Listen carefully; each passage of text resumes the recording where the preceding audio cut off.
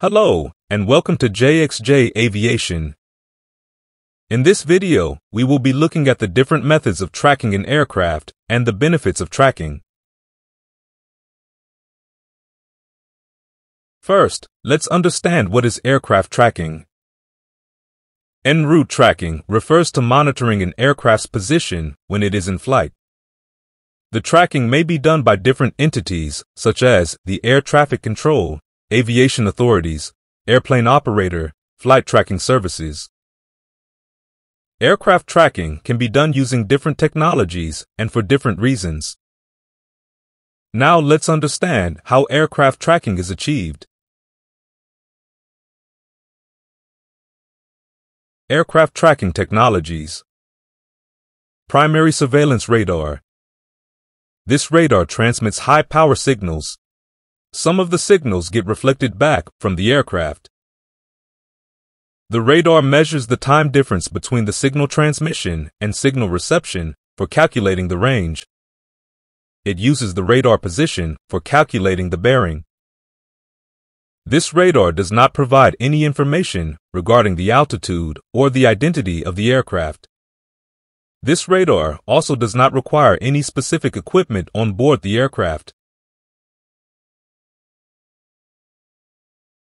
Secondary surveillance radar. This radar consists of a ground-based receiver and it requires a transponder installed onboard the aircraft. The transponder sends a response signal when it receives an interrogation signal from the ground station. From the response signal, the ground station can determine the aircraft's identity, range, and bearing. Mode S, Secondary Surveillance Radar. This is an improved version of the basic secondary surveillance radar.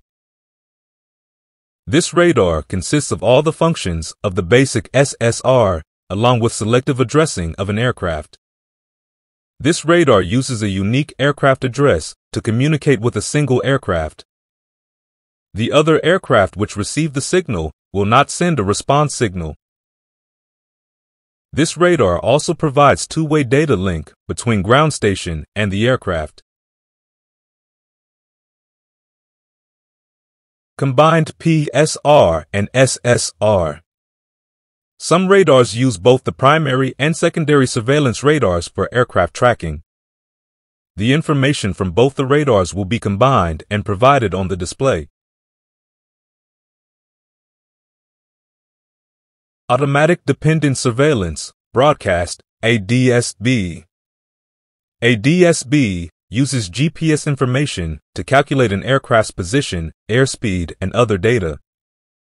This information is continuously sent to the receivers on ground and to other aircraft. So the ADSB does not wait for an interrogation signal from the ground stations to transmit the data. From the ground stations, the information is sent to the ATC, Automatic Dependent Surveillance Contract ADSC ADSC requires a contract to be established between the aircraft operator and a ground-based service provider. This technology uses an automatic position reporting system at specific waypoints. This is useful on oceanic routes. Space-based ADSB ADSB information is collected by ground-based receivers. In places where it is not possible to install these receivers, space-based ADSB becomes useful. Here satellites receive the information from the aircraft and relays them to ground stations such as the ATC. This makes tracking possible on oceanic, remote, and polar routes. Advantages of aircraft tracking. Safety. In case of an aircraft accident or incident, knowing an aircraft's location can assist the search and rescue operations. The tracking also provides better monitoring of an aircraft in remote areas. Efficiency. The tracking can be used for optimizing an aircraft's flight path, which will reduce the time and fuel used. It also helps in reducing pilots' workload of constantly updating aircraft information. Other benefits. The tracking information is also available for the general public to know the arrival or departure status or to see a particular flight route.